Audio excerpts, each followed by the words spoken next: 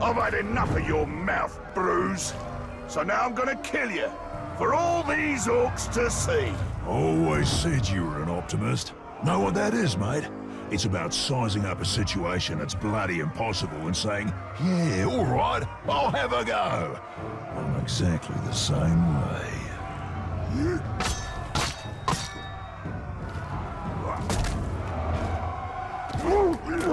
You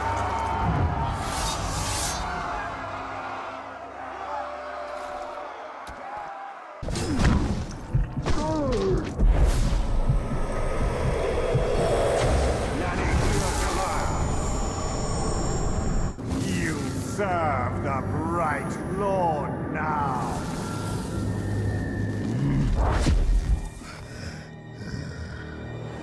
Bright Lord, Dark Lord, same thing really.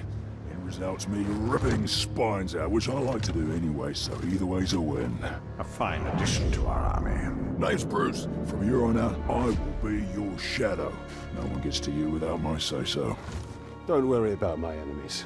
They will all follow eventually. You want to plant your flag in uh, Mordor, you'll need to do it deep. There's a fortress nearby.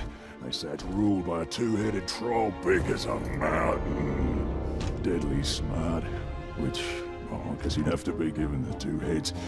You take him down, you'll send a message to Sauron, and get yourself some nice new digs as part of the bargain. I'm not going to do this alone. Gather your troops. We'll do. Ooh, just make sure you let me pop his heads off, won't ya?